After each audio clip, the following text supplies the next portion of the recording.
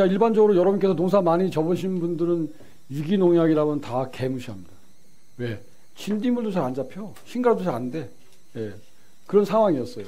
그런데 제가 개발한 건 여러분들이 경험한 것과 많이 달라요. 화학농약을 완벽하게 대처할 수 있고요. 또 PLS. 우리는 농약 잔류가 없어요. 요즘에 제가 최근에 들은 얘기인데요. 지역의 농약상에서 가을철에 농약을 안 판대. 왜? 자기가 팔았다가 PLS에 걸리면 벌굴 먹는데요. 그래가지고.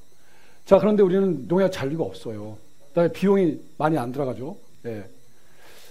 자, 지금까지 작만 면적에서만 유기농 가능하다 했잖아요. 그렇지 않아요. 저희는 현재 큰 데가 40만 평.